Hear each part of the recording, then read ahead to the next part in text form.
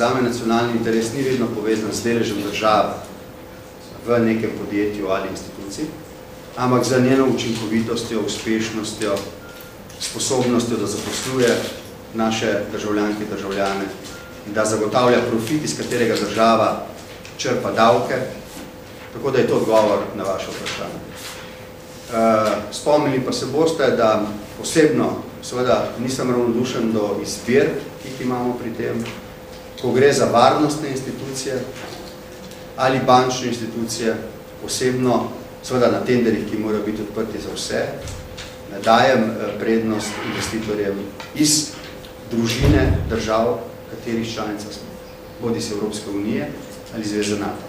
Upam, da je to razumljivo in da ljudje razumejo, zakaj je taka eh, odločitev. Na zadnji gre za vprašanje eh, varnosti in denarja, ki je danes očitno še vedno vladar sveta. Hvala lepa. Hvala lepa.